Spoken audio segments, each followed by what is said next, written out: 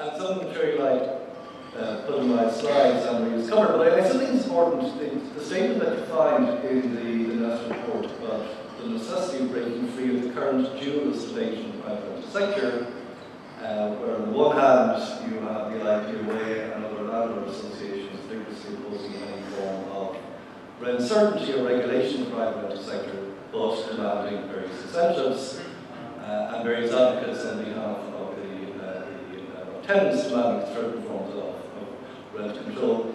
I think what's very clear at this stage is that despite the very confusing media debate, nobody in aware is calling for any kind of first generation rent control. That's not on the agenda for anybody. Uh, I think everybody recognises that we need an enhanced supply of social and housing, so nobody's disputing that. Uh, thirdly, I don't think anybody's particularly disputing the need to incentivise landlords to enhance their supply and to make it business. So I think there are, there's a lot of noise around this debate that can be clarified relatively quickly if we clarify what we're uh, what we want to talk about. Um, and, and really, the, the core thing is how we uh, need policies that provide tenants of more secure occupancy and how we create uh, uh, supply side supports. Um, what's, what's, what's interesting about the net support is the first time this concept of secure occupancy has, I think, entered into public policy debate. And it's a bit, uh, as the report highlights in some detail, it's a much broader concept than the concept we're probably more familiar with that of security of tenure. It's developed by a number of Australian academics and has uh, become an uh, increasingly popular way of decentralizing what we mean in the private sector. So it means both uh, being able to access the sector, that is affordable to access it, uh, that there's ongoing affordability in the sector, and that you have the traditional security of tenure, uh, clear terms of tenancy, uh, and conditions. Uh, crucial in this is an adequate redress system. If there isn't an adequate redress system under secure occupancy, then it won't work, particularly for landlords.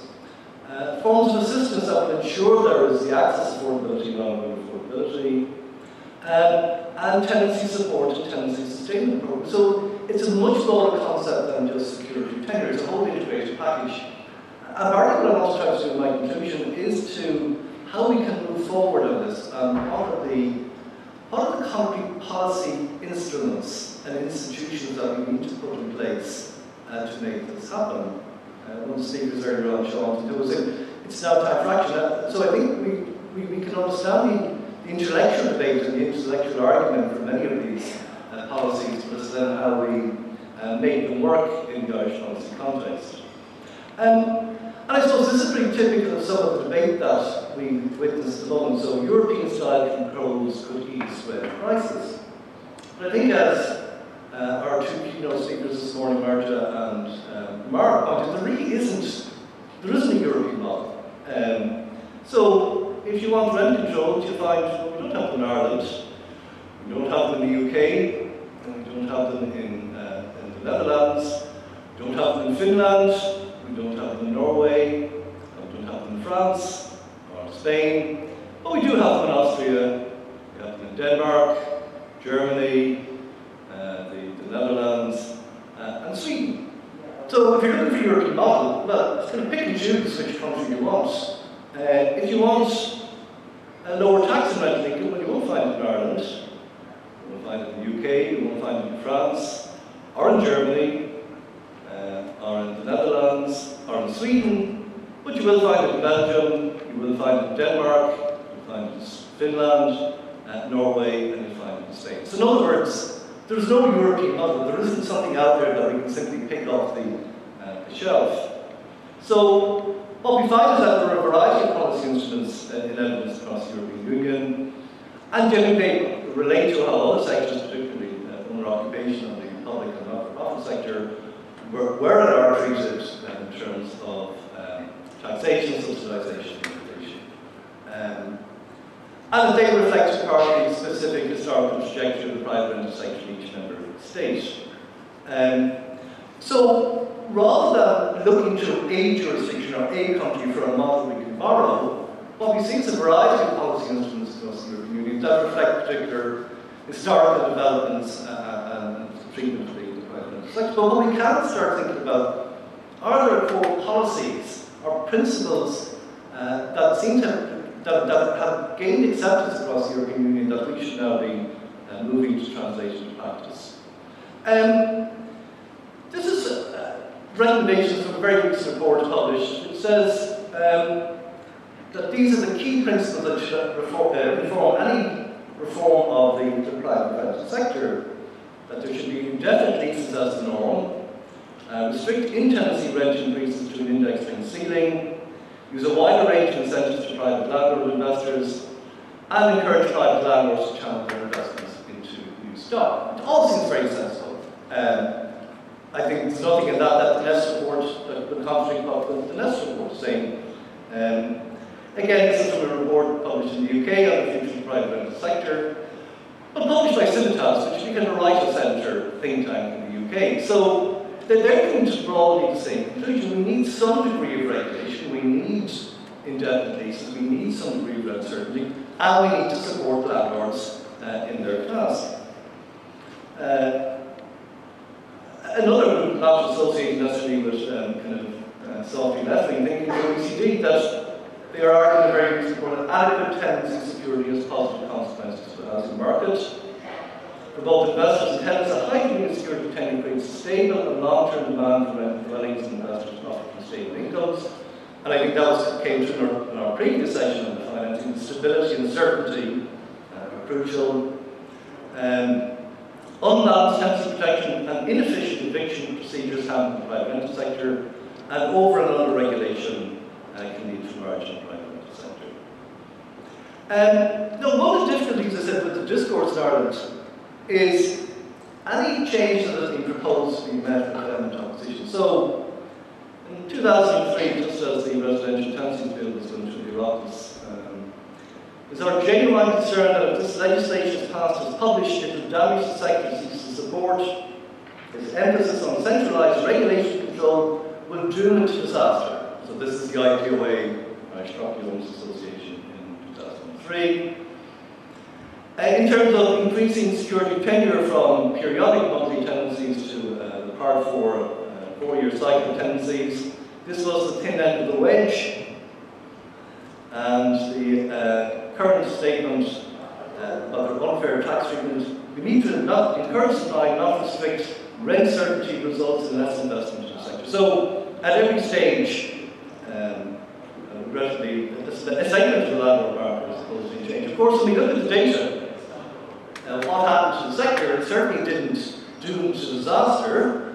Uh, it grew enormously during that period from 2003 onwards. Um, so I think we need to bear in mind that we get this constant call from the idea, we don't touch the market, don't regulate. There's I think consensus amongst those that have given fair due consideration of the view that it needs some degree of regulation. But, but to answer our next point, well, how do we move forward on this? Uh, I have a number of proposals um, that we might do that. I think the overarching principle should be um, a new legislative framework that will provide an integrated regulatory framework that ensures secure occupancy for tenants and a secure fiscal environment for landlords. Uh, seems to be the core principle of what we should be doing. For anybody here who's either a tenant or a landlord, trying to interpret the Residential Tenancies Act 2004 as amended is an impossibility. I think I was a member of the Private Residential Tenancy Board for about nine years. I think from about 2005 onwards, we informed the Department of Environment that the legislation is not fit for purpose and needs to be amended as a matter of urgency. It still has to be, uh, and simply is not fit for purpose, to do its current role, um, uh, even to some simple thing like uh, issue notice of termination is one of the most complex things about this legislation. Um, but we need a brand new framework. Because there's many legislation going through. I think the, the Oireachtas and the next term. I, I think the state would just need something, a brand new regulatory instrument or a piece of legislation uh, that would regulate the sector. Uh, I would recommend that we integrate registration, research and advisory functions of the private residential tenancy board housing agency and the uh, establish a dispute resolution service for all tenants, so the authority, both housing bodies, uh, private rental sector, uh, that the board would purely deal with disputes. Uh, there would be adjudication, mediation only. The appeal structure is currently in place for the appeal to an internal tribunal of the private residential tenancy board would be abolished. uh, and all appeals made to the circuit court. Um, so that this will be an independent residential tenancy dispute resolution agency. It seems to me to crucial to the development of secure occupancy. All the research tells us unless you have and speedy dispute resolution system, secure occupancy will not work. This concept will be very difficult to sell uh, to policymakers. Uh, we need a rental standards agency to be established uh, to ensure compliance with statutory standards across all rental sectors.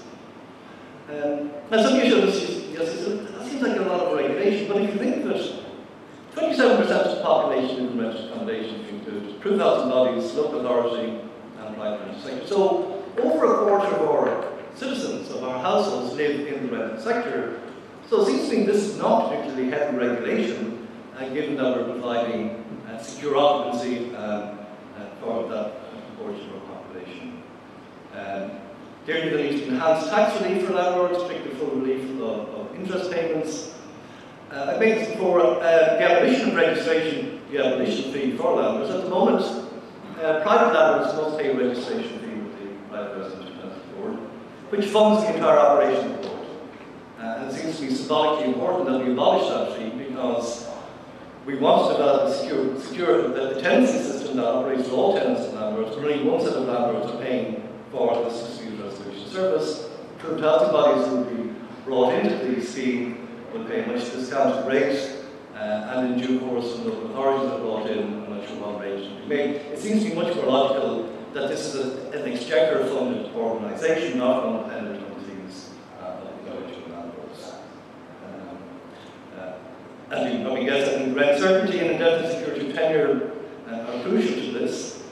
Uh, and finally, I think rents must reflect the cost of the provision, maintenance and management of the dwelling, and not simply the the tenant to pay, uh, with the affordability gap made up via social protection. I think you're irrespective of your, own, who your landlord is, uh, that you pay the, economic rent for the property that you are uh, renting. And if there's an affordability gap, then uh, that's the role of the Department of Social Protection. Uh, so I hope those um, those recommendations um, will provoke some discussion amongst our panel members